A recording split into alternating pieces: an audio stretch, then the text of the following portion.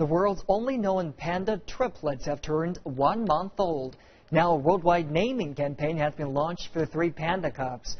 The triplets were born at the Chimelong Safari Park in the southern Chinese city of Guangzhou.